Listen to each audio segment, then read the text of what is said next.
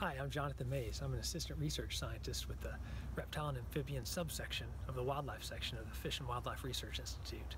I've been with the Institute for just under three years now and have a, several projects going on, one of which is a spotted turtle home range and movement study. I'm also working on a statewide cave invertebrate inventory. Um, I'm serving as a co-principal investigator right now with a a project studying seven state listed species in the lower Florida Keys. Also helping out with an upland snake inventory, looking at four of our rare upland snakes in sandhill type habitats. Um, we've also been doing a, a lot of work with river turtles, especially the Barbour's Map turtle and alligator snapping turtle.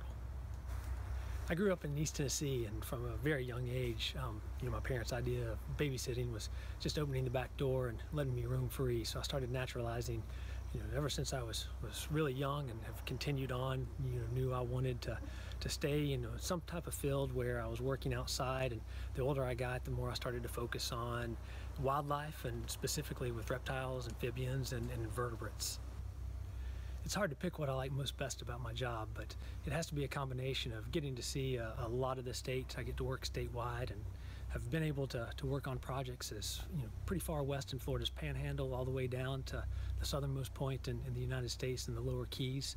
Um, but also like the, the people I work with. It's a, a, varied amount of people. Everybody brings something different to the table, and I've been able to, to learn and really feed off a lot of the energy that's around. And, and to me, that's you know, probably one of the, the most important things in, in, my professional career.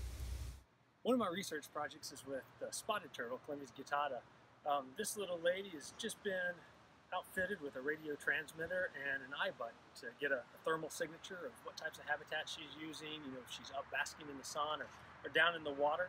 Um, we just captured her and are going to release her, send her on her way, and learn more about movement, home range size, and habitat use.